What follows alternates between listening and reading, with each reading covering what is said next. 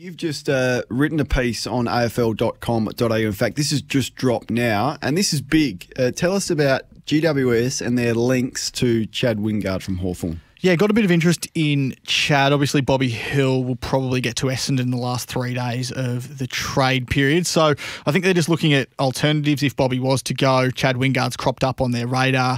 Um, still a long way to go on this one and still a lot to play out because Chad's been very vocal in the last couple of months that he wants to stay at Hawthorn. He was very vocal on Friday afternoon. He posted the uh, I'm not leaving clip on, on, from Wolf of Wall Street on his Instagram account. So oh, it's uh, I get the sense that he doesn't want to go. He's contracted for another two years, um, but the Giants will try and um, tempt him up there to a third AFL club. There's, as I mentioned, though, a, a, lot to play out in this one, and it'll all hinge on whether or not he actually wants the move. I think if he says that there's some way where he wants to explore his options and potentially go to the Giants, then I think there's a, a passage for this one to get done. Uh, it just if he says no and, and uh, digs his heels in, though, it becomes very difficult for the Giants. So, can the Giants get Lobb and Wingard mm. and fit them both in? Well, I mean, if you had have asked me th- two weeks ago, I would have said absolutely not because everyone you spoke to said the Giants were so tight in their salary cap. But uh, it looks like Lobb's going to take a pretty significant pay cut. It looks like if the, I think the, the, the Chad Wingard deal would be very much dependent on um, Hawthorn paying a significant mm. part of his salary. And, and, should that be the case, I've included it in the article. There's been a bit of talk that the, the, the Giants might actually stump up in terms of a draft pick what the Hawks would, would want for Chad Wingard. And he turns 29 next year, so you might say, well, a first round pick, would you would you give that up for Chad Wingard? But you probably would if it comes down to the fact that Hawthorn pays a pretty significant portion of his salary cap. And this is something that myself and Cal Twomey spoke about last week on Trade Radio, just that there's a new economy now where clubs are sort of paying a bit more in terms of uh, trade capital should they should the opposition side or the side that's giving up a player pay for the salary cap. So it's it's just another negotiating tool that's been brought into it in the last couple of years in this trade period.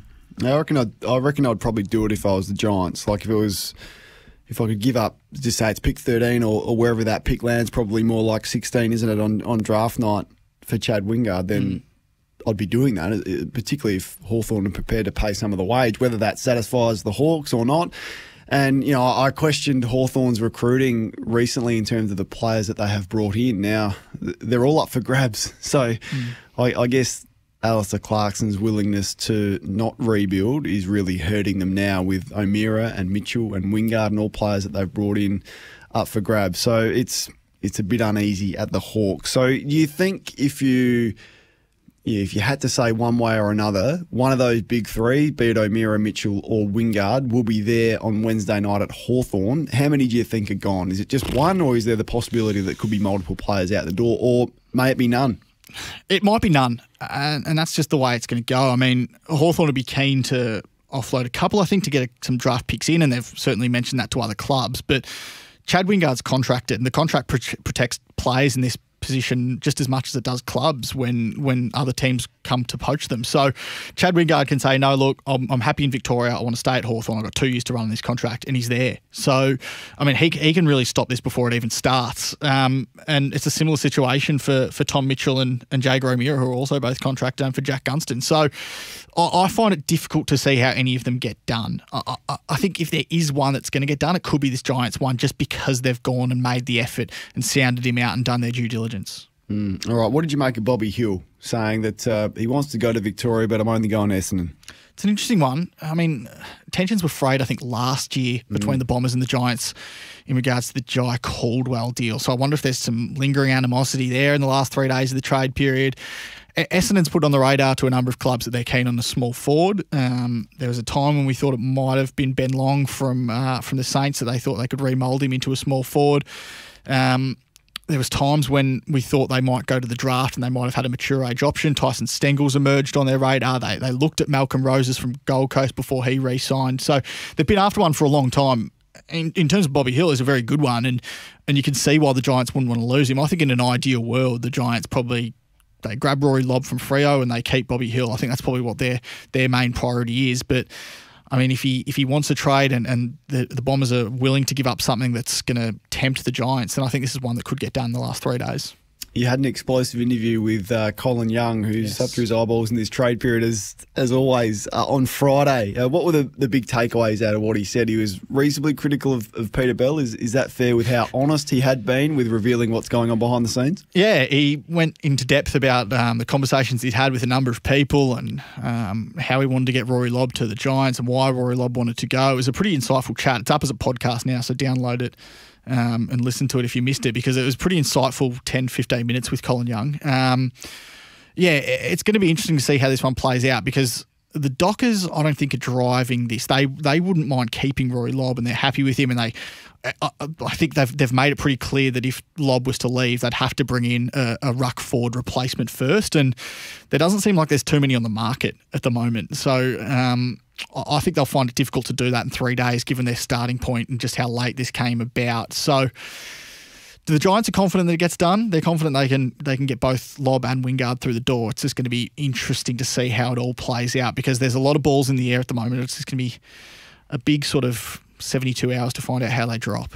Now, if there's not enough pressure on being the number one pick in the draft, you've got the added pressure knowing that Adelaide have, have tried to mm. give up three first round draft picks with something back. We understand that for him. This just adds another level of intrigue that usually isn't on the number one pick in the draft. Uh, phew, Adelaide got bold, didn't they, with North Melbourne for their first pick?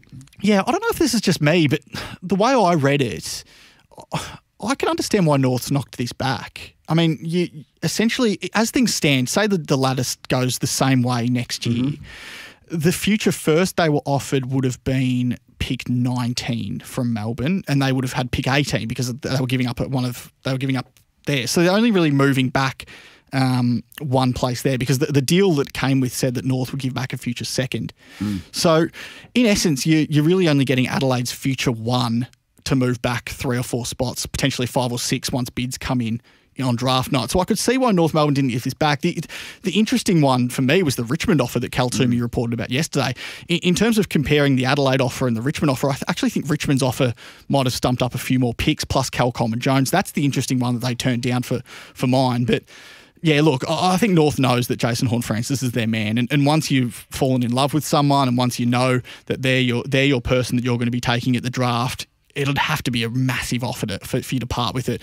I don't think Adelaide's moved the needle too much. Richmond's I probably gave them a little bit more to think about, I'd reckon. But yeah, look, I, I think now once they're settled, I think you're going to have to blow them out of the water to, to even consider this from here. Mm. All right, and this Jordan Dawson deal with Adelaide isn't any closer by the sounds of it, and the fact that Adelaide did offer the pick that we all thought they're going to use for Yeah. Dawson to North Melbourne for Horne-Francis makes it interesting as well. Do you put a deadline on it if you're the Crows and say, look, by five o'clock this afternoon, you've got to get back to us, Sydney. This is the best offer that we've got. If not, we'll turn our attention to the draft, the pre-season draft.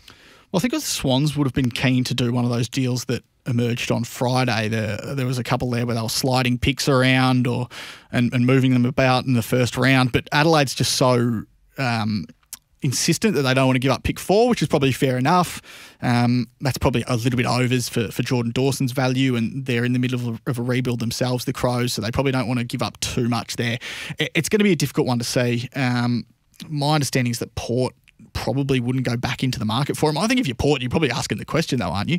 I mean, he, he fits a need, and you're saying, look, we've got this pick right here, Sydney. Like, if you want to deal with us, we can try and change Jordan Dawson's mind because at the moment, there's a lot of people that are saying that this one has preseason draft sort of. Um, the lingering over it, and I think that's the last thing you want to do if you're the Swans. You just want to get something through the door. So I, just- I, I can't see how it plays out from here because it seems like they've gone through every sort of situation with the first round pick and we haven't had anything done yet. So I don't know what gets it done from here. Mm, and even read over the weekend that John Longmire picked up the phone and tried to convince him to stay again. Now, it, it's happened before, maybe with Papley, but I think he was contracted, so a little bit different, and he appears a long way down the road of deciding on Adelaide. So he, he'll be at Adelaide by Wednesday night. And Adelaide hold all the cards, you would think. Now, Nick, Nick Del Santo is on uh, trade radio as we speak. He's just said Jack Lonie is clearly not going back to St Kilda. Uh, he doesn't know where he sits. He did didn't hit his contract trigger, and they're not sure who's desperate for a player like that. There- There's a couple of those players. Dumont's in a similar boat. Yep. They're just real uncertain times for players who either don't have a contract or are not feeling the love by their current club. Yeah, it's a tough market at the moment because salary cap is tight around the competition. There's a lot of clubs feeling it at the moment. Also, list sizes are tight. Clubs are just trying to figure out what they do. Um, yeah, Trent Dumont's an interesting one, as you mentioned as well. No contract offer from North Melbourne. There's no contract offer for Jack Lonie, Mason Cox, Brayden Sier. These are all players without contract offers and without suitors coming forward for them at the moment. So you'd hope they'd find a home as delisted free agent. If they have to go into the national draft or the rookie draft, potentially they find themselves on a rookie list. There's also the the preseason supplemental selection period now as well. So they've got the option of finding a home all the way through to March. So still time for guys like Jack Lonie and, and Trent Dumont and um, particularly for Dumont, I'd, I'd expect he's at a club next year. It's just where at the moment because no one's really stepped forward.